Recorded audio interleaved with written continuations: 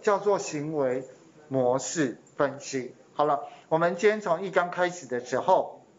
跟各位分享，跟各位分享那个，现在你也应该可以把这个档案另存，因为我们要准备那个课程结束，我就把它取名叫做四。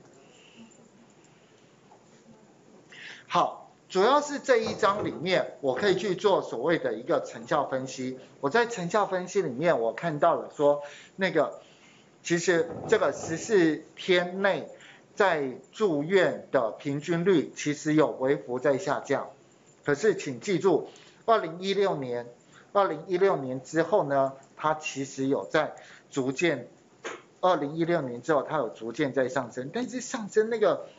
幅度你这样看起来是蛮大，是因为说我们只看这个部分。好，再来，其实因为做的是成效分析，所以你可以在这张图上面，例如说我们就可以看到二零二零二零二一年的，例如说第一名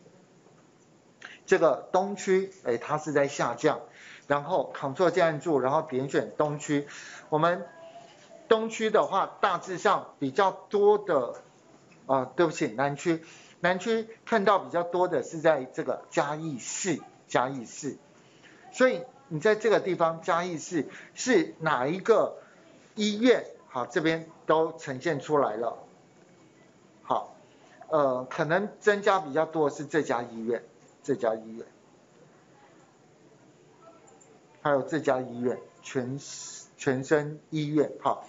然后接下来你可以在这边看到，这个真的很高，高的原因这边祥泰医院居然零点三一，零点三一。好，那当然很有可能是因为他们的那个就是医院比较小一点嘛，但零点三一其实真的是蛮高的。再接下来，我们可以从这一章来去了解各县市十四天内县市行政区它的一个。变化的情形，还有同期比较完毕之后，行为模式，行为模式，它真的是可以，可以去呈现。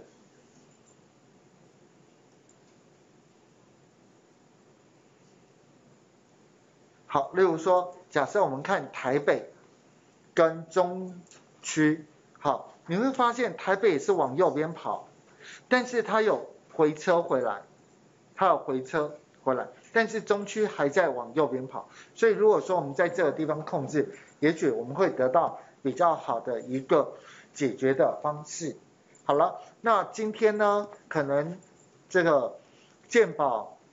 大数据分析大概就先介绍到这边，明天早上九点我们再来开始继续来去谈，就是说，假设你今天 cross join，